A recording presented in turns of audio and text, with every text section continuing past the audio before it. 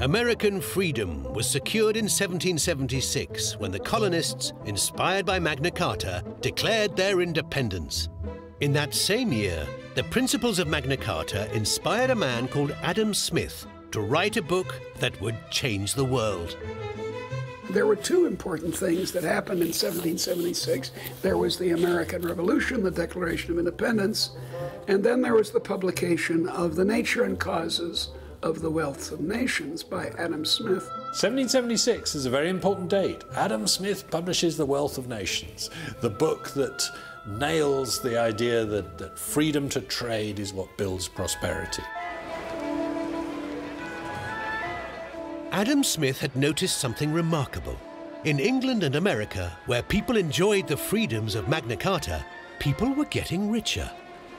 In that book, Smith is applying the principles of Magna Carta and saying, if you have low taxation, if you have a benign government, uh, if you have all of these freedoms and liberties, then there is no limit to the amount of prosperity that can be generated and spread across the planet.